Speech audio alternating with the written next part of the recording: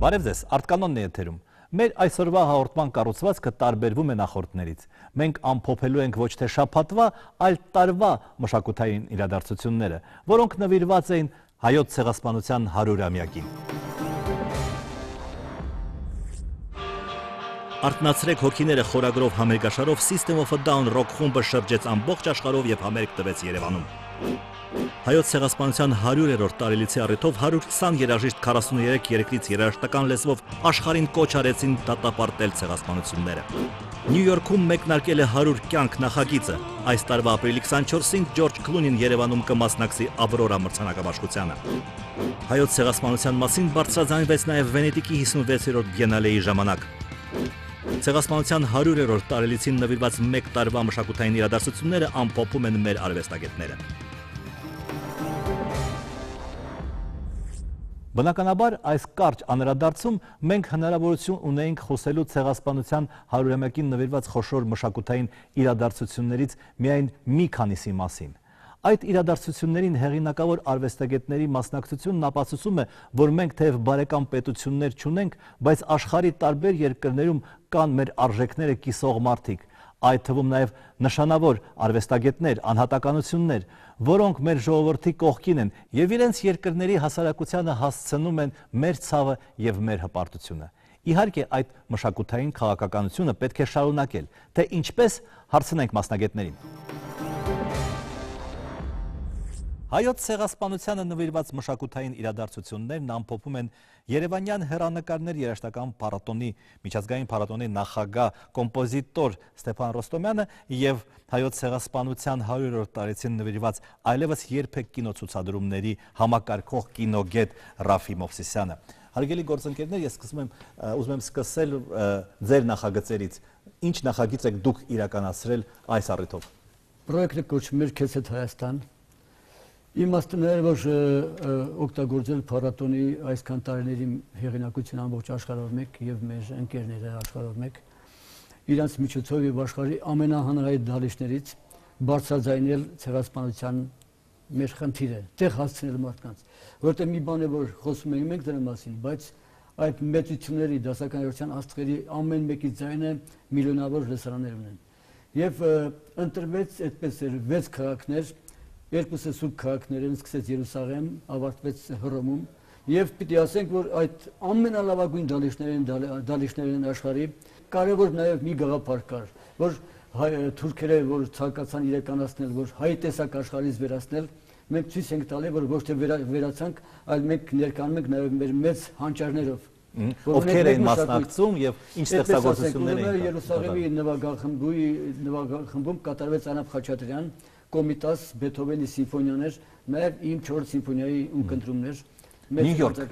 Կարնեգի հոլ։ Նյու Յորքում Կարնեգի հոլը նշանավոր է, որ աշխարհի լավագույն դաշնակարից մեկը Եվգենի Կիսինի գիտեք, Եվգենի Կիսինի եւ նաեւ հայկական մեր լավագույն երգչախումբն է Սոնա Հովանեսյանի հովեր երգչախումբը եւ հատուկ գործ էր գրված այդ օրվա համար Պենդերեսկին գրել էր 6-րդ սաղմոսի վրա ստեղծագործություն հնչեց լատինական տեքստով, բայց հիմա նաև հայերենը կնչի։ Պրեսան շատ մեծ էր, Նյու Յորք Թայմսը հատուկ մեծ էջ տրամադրեց, խոսեցին եւ Կիսինը խոսեց ցեղասպանության մասին, դատապարտեց։ Այդպես հզոր էր եւ պիտի ասեմ, որ Լոնդոնում նաեւ Պինկաս Ցուկերմանը մեր ժամանակների լեգենդար ամենամեծ ջութակարը Լոնդոն ֆիլհարմոնիկ նվագախմբի հետ եւ մենակատար իր հետ նվագեց Դիանա Ադամյանը Բախի կրկնակի կոնցերտը Եվ նաև ասենք ֆանտաստիկ էր Music Fair-ը Վիեննայի, որտեղ 4 կատարվեց Մոցարտի ռեկվիեմը, Զալցբուրգ կամերատան, Բախ երգչախումբը եւ դիրիժորը հայ էր, մեր հրաշալի դիրիժորը Ջորջ Պելիվանյանը եւ 4 կատարողները հայ են։ Բարսեղ Թումանյան, Լիաննա Հարությունյան, Խաչատրյան Վարդուհի եւ Հովանեսը Այվազյանը։ 4 հայ Շատ բարի, մենք շարունակենք այդ թվարկումը, հա, եւ ես կուզեի հարցնել ձեր գծով ինչ տեղի ունեցավ։ Շատ կարևոր էր այդ նախաձեռնությունը այն իմաստով, որ սա փաստորեն տեսակ հաշվետու միջոցառում էր ոսկե ծերեն կինոփառատոնի համար, որովհետեւ խնդիր էր համախմբել 12 տարվա ընթացքում բոլոր տեսակի համագործակցություններ աշխարհի տարբեր միջազգային կինոփառատոների հետ եւ Ոսկեծիրան կինոփառատոնը այսօր արդեն կարող ենք ասել, որ համաշխարհային կինոքարտեզի վրա իր ուրույն տեղ ունեցող եւ տարածաշրջան ներկայացնող կինոփառատոն է, ուստի մեզ հաջողվեց այնպիսի երկրներում այնպիսի միջազգային կինոփառատոնների հետ համագործակցություն ունենալ, որոնք որոնց երկրները պաշտոնապես չեն ճանաչել ցեղասպանությունը եւ օրինակ Բելարուսում, Թուրքիայում նույն մենք ունեցանք Ստամբուլի միջազգային կինոփառատոնում հայոց ցեղասպանության նվիրված ծրագիր, որքան էլ տարօրինակ եւ հետաքրքրական թվա, դրանց մասին առանձին կարելի է խոսել։ Եվ այդ երկրներում մեր ցուցադրությունները համաֆինանսավորման սկզբունքով էր։ Այսինքն ամբողջ բյուջեն չէր չէր տրամադրվում ոսկե ծիրան կինոփառատոնի կամ պետական աջակցության կողմից։ Այսինքն իրենք ներդրում էին ունեն, որպեսզի մենք կարողանանք այդ ծրագրերն իրականացնել։ Քանի որ ինչպես ոսկե ծիրան կինոփառատոնը, այնպես էլ վստահ եմ այդ փառատոնը իրենց գաղափարական հիմքում ցանկացած ոչրագործություն, մարդու իրավունքների խախտման ցանկացած դրսևորում քննադատում են եւ դա ծրագիր էր, որը ոչ միայն նախատեսված չէր հայ համայնքի համար որպես այդպեսին, այլև նախատեսված էր հենց այդ միջազգային կինոփառատոնի հյուրընկալած հյուրերի համար, այսինքն ավելի աշխարհագրական իմաստով ինքը ընդգրկուն էր։ Ինչպիսի ֆիլմեր էին ցուցադրվում։ Ցուցադրության համար մենք ընտրել էինք ուրեմն հայոց ցեղասպանության անդրադարձող առաջին ֆիլմերից, ինչպես 1919 թվականին նկարահանված Ավրորա Մարտիկանյանի կենսագրության հիման վրա նկարահանված ուրեմն հոշոտված Հայաստանը, մինչև վերջին տարիներին նկարահանված վավերագրական, անիմացիոն եւ խաղարկային ֆիլմեր, այսինքն բավականին բազմաբովանդակ էր եւ մենք փորձում ենք ամեն երկրի համար առանձին ծրագիր մշակել։ Բոլոր ֆիլմերը նվիրված էին ցեղասպանությանը։ Այո, բոլոր ֆիլմերը նվիրված էին ցեղասպանությանը եւ կարեւոր խնդիր էր հասկանալու թե համար թե տվյալ երկիրը ինչ մասնակցություն է ունեցել տվյալ ֆիլմի մեջ։ Այսինքն եթե կար ֆիլմ, որտեղ գլխավոր դերակատարը տվյալ երկրի ներկայացուցիչ է կամ ինչ որ ձևով կարող էր այդ երկրի հանդիսատեսին ավելի հետաքրքիր լինել, բնականաբար մենք փորձում ենք յուրաքանչյուր երկրի համար անհատական ծրագիր այդպես պատրաստել։ Թուրք արվեստագետներին հիշատակեցիք։ Նրանք մասնակցում էին ֆիլմերի նկարահանմանը, թե կազմակերպմանը։ Ոսկե ծիրան կինոփառատոնի առանձին նախագծերից մեկն էր եղել ռեժիսորներ առանց սահմանների ծրագիրը, որը հայ-թուրքական կինոպլատֆորմ այդպիսի նախաձեռնություն ունի եւ շատ կասկածների տեղիք է տալիս շատ ցավալի է մի շարք մշակութային շրջանակների կամ լրագրողների կողմից թե ինչ պիտի նշանակի հայ-թուրքական համատեղ այդպես կինո արտադրություն, բայց այդ 7 տարիների ընթացքում այդ ծրագրի շրջանակներում մենք նկար նկարել ենք 14-ից ավելի ֆիլմ, որոնցից մոտ 8-ը անդրադառնում են հայոց ցեղասպանության։ Դրանք ազգությամբ թուրք կամ քուրդ ռեժիսորներ են, որոնք գտնում են իրենց պատմության, իրենց արմատներում մեկին, որը կրոնափոխ է եղել կամ իրենց տատիկն է կամ տատիկի մայրն է, որը ազգությամբ հայ է։ Այսինքն նրանք ընդունում են իրենց ոչինչ։ Այո, նրանք խոսում են հայոց ցեղասպանության մասին հենց իրենց ֆիլմերում վավերագրական օգտագործելով ցեղասպանություն տերմինը։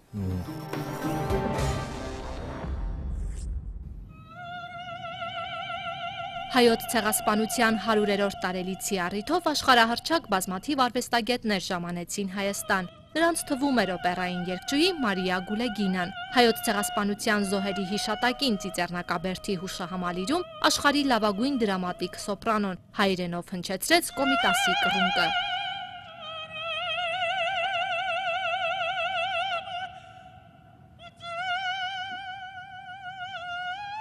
Լի եմ հույզերով, քանի որ մենք նշում ենք նման ողբերգական տարելիցը 100 տարին։ Կարծում եմ, որ այդ տարելիցը պետք է բեկումնային պահ լինի, որ մարդիկ պարզապես հասկանան, ընդունեն, գիտակցեն եւ այս պահից սկսած ապրեն նորովի, քանի որ սկզբունքորեն մեզ բոլորիս խաղաղություն է պետք, Պետք է միայն երեխա մեծացնել։ Չարությունն ու ատելությունը սպանում են։ Երևանում հայտարարեց երկչուհին։ Իսկ Ռեկվիեմ նախագծի ընթացքում հանուն խաղաղության, բարության եւ արդարության Արցախում հանդես եկավ հանրաճանաչ օպերային երկչուհի Լյուբով Կազարնովսկայան։ Ռեկվիեմ նախագիծն էլ նվիրեց հայոց ցեղասպանության զոհերի հիշատակին։ Մի կողմից ողբերգական իրադարձություն, մյուս կողմից մի տարեթիվ, որը հույս է ներշնչում եւ ցույց տալիս, որ հնարավոր չէ սպանել հզոր Հայաստանի եւ նրա մշակույթի ոգին, հայտարարեց Կազարնովսկայան։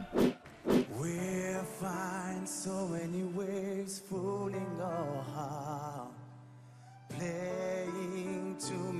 Ցեղասպանության 100-երորդ տարելիցի մասին բարձրաձայնելու համար նույնիսկ Եվրատեսիլ երկի միջազգային մրցույթը դարձավ յուրօրինակ հարթակ։ Աշխարի տարբեր ծայրերից 6 երիտասարդների համախմբեց երաժշտության ու գենի ուժը։ Նրանք ունեին 6 ճակատագիր, բայց մեկ պատմություն։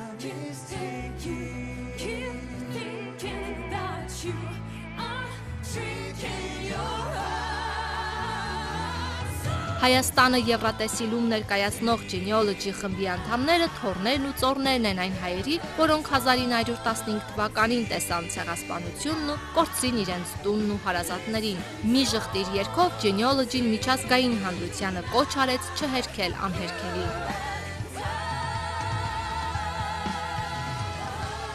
թե լրագրողները, որոնք լուսաբանում էին այդ միջոցառումը եւ յուրաքանչյուր արտիստի ելույթ, յուրաքանչյուր երկրի ներկայացում,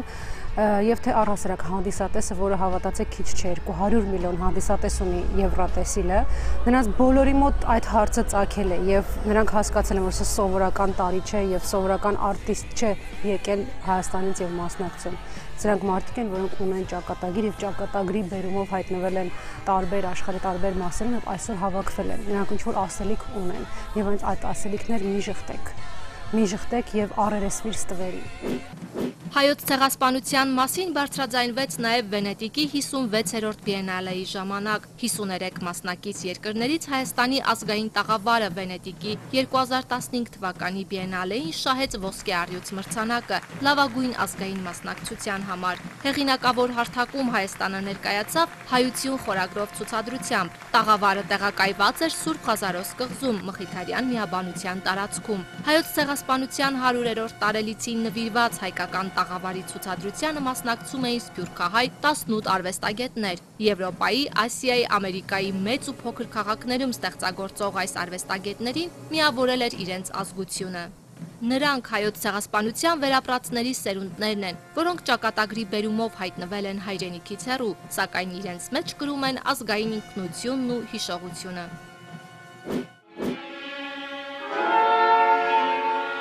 Անցյալ տարի 4 օր շարունակ ամբողջ կաննում հայկական շունչ ու ոգի կար։ Հայաստանը պատվավոր երկրի կարգավիճակով մասնակցեց Ֆրանսիայում անցկացվող Միդեմ միջազգային երաժշտական հեղինակավոր փառատոնին։ Միդեմի հեղինակավոր հարթակում հայ մասնակիցները ներկայացրին ոչ միայն հայկական երաժշտությունը, այլև վերածնված Հայաստանը, ազգային երաժշտության պահապան Վեհափար Կոմիտասին։ Հայաստանն այս հեղինակավոր փառատոնին ներկայացավ երաժշտության հայկական էլեմենտները հայեցակարգով։ Միդեմ 2015 փառատոնի խորհրդանիշ էր ընտրվել նուրը, որը պատկերված է 4 տարբեր գույներով ու խորհրդանշում է ոգեշնչման 4 հիմնական տարերը՝ հողը, օդը, ջուրը եւ կրակը ասելիքը, որ մենք ունենք 2015-ին, դա չի ավարտվել միայն 2015-ով, բայց անշուշտ Միդեմը դա ամենադեպս մեր կյանքում երաժշտության ասպարեզում ամենակարևորագույններից էր եւ ամենահնչեղն էր եւ նույնպես որպես երաժիշտ եւ մենք բոլորս մեր ընկերներով մեր մեր համար մեծագույն պատիվ էր. երություններ դեբյուսի համերգասրահում նվագել դեբյուսի ստեղծագործությունները Խաչատրյան, ունենք Փայլուն դեցերագիր, բայց կարծում եմ, որ շատ կարևոր է մասնակցել, աշխատել այն հաջողակ հարթակների, ինչպես որ դուք ասացիք, եւ հաջողակ միջոցառումների, փառատոնների հետ, որոնք որ օգնում են մեր ասելիքը տեղ հասցնել եւ այն գաղափարը, որին որ մենք հավատում ենք եւ որը որ առաջնորդում է մեզ ավելի կայուն եւ ավելի հնչեղ դառնա։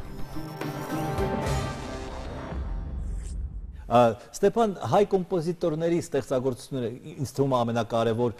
բաղադրիչներից մեկը պետք է լինի, հա։ Խաչատուրյանին բոլորը գիտեն, հա։ Կարևոր է, կարևոր է, բայց ասենք ամենակարևորը դա էր, այդպես չէր։ Մեր խնդիրը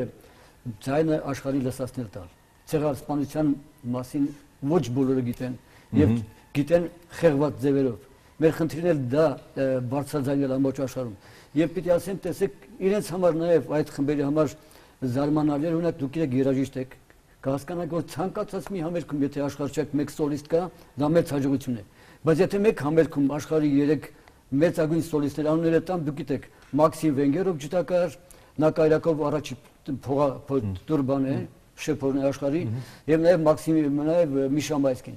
Բրյուսելի համերգի ժամանակ 3 սոլիստներ են ինչ որ թուրք երաժիշտներ մասնակցում էին կամ ինչ որ համագործ Գիտեք, պիտի ասեմ, որ ամենտեղ այդպես չէ որ հեշտ մենք գնում եւ այդ կազմակերպում այդ այդ միջոցառումները։ Ամենտեղ սարսափելի էր, որտեղ նախապես հայտնում են որ կարող է տերակսել լինեն նույն Բրյուսելում, Լոնդոնում, որտեղ դալիշներում միանգամից ասենք տոմսերը լրիվ վաճառված են եւ ասում են որ չի բացառվում որ գիտենք որ կարող է շատ թուրքեր կան ու կարող է մեծ Ինչ որ միջադեպեր տեղի ունեցա։ Դե ինչ որ Էստոնիայում եղավ որ ցույց են արել, բայց պոլիս եկավ քշեցին անցել, այդպես կար։ Նես պես չէր որ եւ ամեն գնով խանգարում էր որ բառը չգրվի, գենոցիդ չգրվի։ ես ուզում եի շարունակել քաղաքականության թեման։ Եղել են խոչընդոտներ, որ ասենք genocide բառը չլինի կամ չգիտեմ, այսպիսի ինչ որ բանավեճեր, բանակցություններ եւ այլն։ Բանավեճերի կարգով եղել է, բայց շատ տարօրինակ է, որովհետեւ հիշեցի մի անգամից Գերմանիայում Բեռլինում մեր կազմակերպած միջոցառումը, որը մեկ ամիս էր տևում Մաքսիմ Գորկու թատրոնի հետ եւ գեղարվեստական ղեկավարը ազգությամբ թուրք է եւ իր նախաձեռնությունը նաեւ կար որպեսզի այդ ծրագիրը իրականացվեր մեր ֆիլմերի ցուցադրության։ Իհարկե բանավեճեր քննարկումներ եղել են, բայց որpիսի այդպիսի արգելքներ ունենանք, չէ, ուղղակի Ստամբուլի փառատոնում հետաքրքիր դեպք տեղի ունեցավ, երբ ազգությամբ քուրդ ռեժիսոր ինքը նկարանել էր ֆիլմ քրդերի խնդրի վերաբերյալ եւ Ստամբուլի փառատոնը միջոցառումից 2 օր առաջ հերքել էր ֆիլմի ցուցադրությունը, իսկ չեղյալ էր համարել եւ բոլոր թուրք ռեժիսորները հանեցին իրենց բոլոր ֆիլմերը այդ փառատոնի շա։ Մի անցյալ տարի Ստամբուլի միջազգային կինոփառատոնում որևէ թուրքական ֆիլմ չցուցադրվեց որպես այդպես, իսկ միայն միջազգային ֆիլմեր են եւ զուգահեռաբար մենք իրականացնում ենք հայոց նվիրված ծրագիրը, այսինքն երկակի դարձավ ազդեցությունը մեր ծրագրի իրականացած, որտեղ իրենք հասկացան, որ այսօր արդեն իսկ իրենք արգելում են որոշակի ֆիլմեր եւ զուգահեռաբար գնում են մի ծրագիր, որը հայոց ցեղասպանության է նվիրված։ Այդ իմաստով ավելի դրական բաներ ենք մենք ունեցել։ Ցավոք սրտի այդ ֆիլմերի մեծ մասի հեղինակային իրավունքները մեզ չեն պատկանում, Հայաստանին չեն պատկանում։ Ես չեմ կարող հիմա մի մասը գոնե նայել։ Դու կարող եք նայել ոսկե ծիրան կինոփառատոնի շրջանակներում կամ նման առիթների շրջանակներում, բայց ցավոք սրտի ոչ կինոթատրոններն են հետաքրքրված այդ ֆիլմերով դրանց էկրան բարձրացնելու, ոչ շատ հեռուստատեսություններն են հետաքրքրված այդ ֆիլմերը էկրան հանելու եւ ոչ էլ նախ եւ առաջ կինոթատրոնները, որովհետեւ ինտերնետում կարող են գտնել դրանց տարբերակները, բայց դրանք ոչ օրինական ճանապարհով վերբեռնված տարբերակներն են։ Այսինքն կինոյի իմաստով էլ մենք շատ անելիքներ ունենք, որովհետեւ նախ արխիվը պահպանելու եւ դրանք օգտագործելու նաեւ ինչ որ չափով հայոց ցեղասպանության նվիրված ֆիլմերի հեղինակային իրավունքների ձեռքբերման իմաստով կամ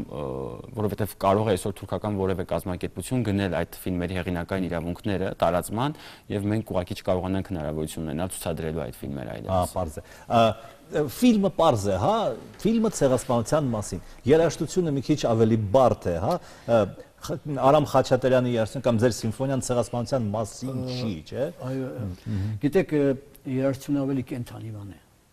որտեղ մի անգամ կայանում է եւ այդ անգամից հետո օրինակ ասենք նույն սիմֆոնիան հազար անգամ կատարած հազար անգամ տարբեր է նույնը չի կատար կապված դիրիժորի որակներից կապված հազարումի նվագախմբի որակներից ինտերպրետա այդպես մարդիկ կա որոնք որ չեն ձայնագրում ընդհանրապես չեն սիրում ձայնագրվել մի անգամ լսեցին ու վերջացավ այո օրինակ ասենք Եվգենի Կիսինը դա բացառիկ է որ նա հրաժարվել է Թուրքիա երբևիցե գնալ հայոց ցեղասպանության համար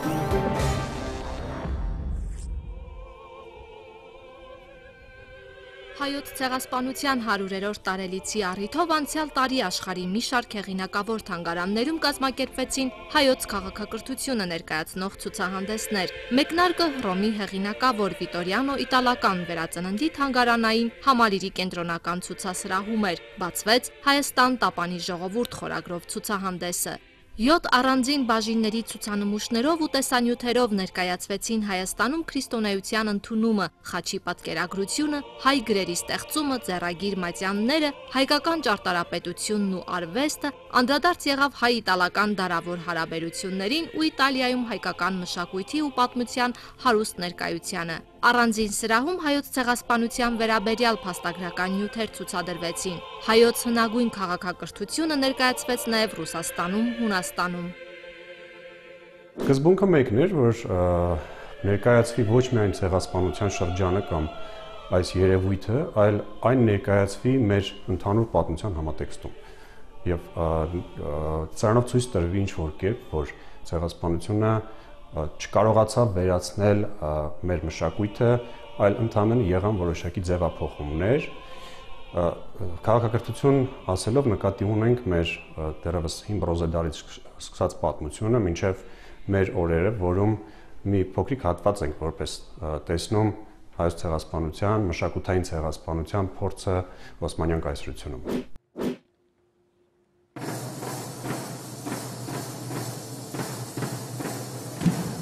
120-ից ավելի երաժիշտներ 40 երկրից 2404 միավորված նվագախմբով երաժշտության լեզվով աշխարհին կոչ արեցին դատապարտել ցեղասպանությունները։ Վերածնունդ խորագրով համերգն ուներ 4 խորուրդ՝ հիշատակ, երախտագիտություն, միջազգային պայքար եւ վերածնունդ։ Համերգն ուղեկցվում էր տեսապատկերներով։ Ծրագրում վերջին 100 տարում ստեղծագործած հայ կոմպոզիտորների ստեղծագործություններն էին։ 2404 նվագախումբն անցած տարի ապրիլ 24-յան համերգով չավարտեց իր գործունեությունը։ 2016 թվականին եւս ելույթներ կլինեն աշխարհի մի շարք երկրներում, դասական երաժշտության լեզվով դատապարտելով ցեղասպանությունն ու ճարիքը։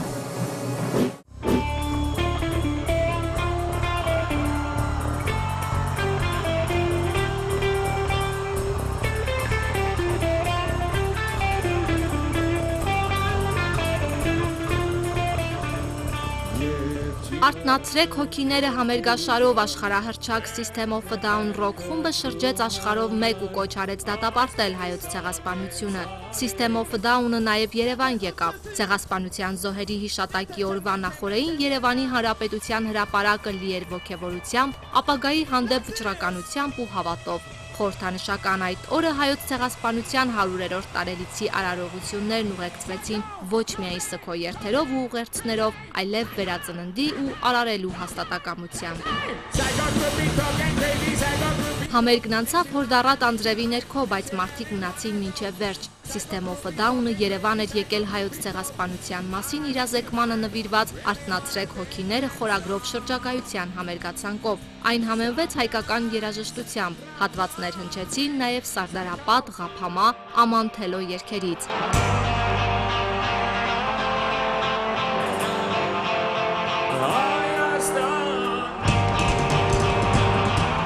Սերժ Թանկյանը պատմեց, որ իր տատիկին փրկել է մի թուրք։ Նա հայտարարեց, որ թուրքական կառավարությունը պետք է այդ մարդկանց հերոսներ անվաներ, փոխանակ շղթելու պատմությունը։ Մենք, որպես փրկվածների ժառանգներ, պետք է նայենք բոլոր կառավարությունների աչքերին հավասարը, հավասարի սկզբունքով։ Անկախությունից հետո դեռ շատ աշխատանք կա անելու, համերգին ասաց Թանկյանը։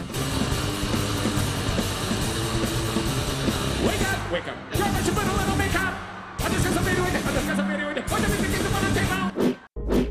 Նյու Յորքում մեկնարկել է 100 կյանք նախագիծը, որի նպատակն է երախտագիտություն հայտնել այն անձանց ու կազմակերպություններին, որոնք հերոսաբար փրկել են հայերի կյանքը 100 տարի առաջ իրականացված ցեղասպանության ժամանակ։ Միջազգային մասշտաբի գործարարները նախագիծը հիմնադրել են ներկայացնելու համար հայոց ցեղասպանության հետևանքները եւ թե որքան մեծ է ցեղասպանությունից փրկված հայերի ու նրանց ընտանիքների ներդրումը մշակույթի, արվեստի, սպորտի, գիտության եւ բիզնեսի ոլորտներում։ Նախագծին միացել է նաև հոլիվուդյան աստղ Ջորջ Քլունին։ Նյու Յորքում կայացած 100 կյանք նախաձեռնության շնորհանդեսին 53-ամյա դերասանը մասնակցել է կնոջ հայտնի փաստաբան Ամալ Քլունիի ուղեկցությամբ։ Բեմ բարձրանալով Ջորջ Քլունին եւ նախաձեռնության համահիմնադիր Ռուբեն Վարդանյանը խոսել են ցեղասպանության 100-ամյա տարելիցի նշանակության մասին։ Այս տարի ապրիլի 24-ին Ջորջ Քլունին Երևանում կմասնակցի Ավրորա մրցանակաբաշխությանը want to say thank you to people, to institutions, to countries. Վերջին հա հարցը, լավ, էս եղավ, հա հարյուրամյակը եղավ, մի տարին անցավ, հիմա նմանատիպ միջոցառումներ դուք պատրաստվում եք անցկացնել թե՞ չէ։ Ոսկե ծիրան կինոփառատոնի շրջանակներում երևի թե ամեն տարի 1 կամ 2 ֆիլմ ունեն մենք, որ նվիրված է հայոց ցեղասպանությանը եւ դրանք նկարահանվում են շատ։ Հիմա շատ տարօրինակ էր մեզ համար, որովհետև այլևս երբեք այդ մեր ծրագիրը ինքը շրջիկ կինոփառատոնի սկզբունքով էր արվում։ Եվ տարօրինակ էր, որ 100-րդ տարեդիցից հետո մենք հիմա նորից հրավերներ ունենք տարբեր երկրներում իրականացնելու նման ցուցադրություններ, որովհետև ելի եմ ասում, մեզ համար կարևոր էր այս կոնտեքստից կտրել իրեն որպես ազգային խնդիր։ Մեզ համար դա կարևոր է ներկայացնելու որպես միջազգային յուրաքանչյուր եւ ցանկացած տեսակի մարդու իրավունքների ոտնահարման խնդիր։ Այդ հարցին եւս մեկ, որտեղ դրան է վերաբերում, շատ թարմ Հիմա ապրիլ 24-ին, այս ապրիլ 24-ին աշխարհի լավագույն երգչախմբերից մեկը Ernest Sachs երգչախումբը, Էստոնիայի Գրեմի մրցանակիրը, պիտի կենթանի Ծիծեռնագերտում հայկական լեզվով երկի երկու հոգևոր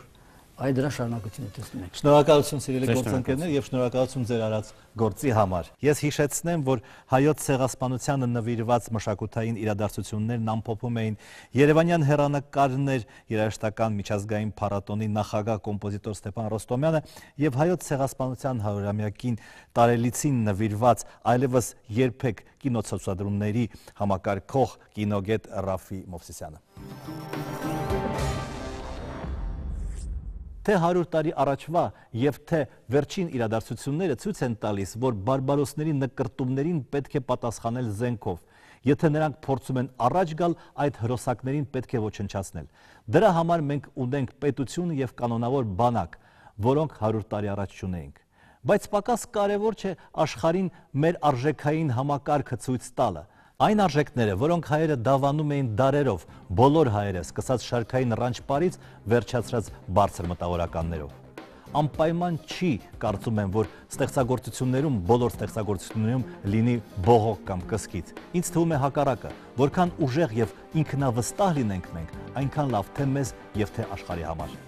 Արտկանոններ եթերում կհանդիպենք մեկ շաբաթից։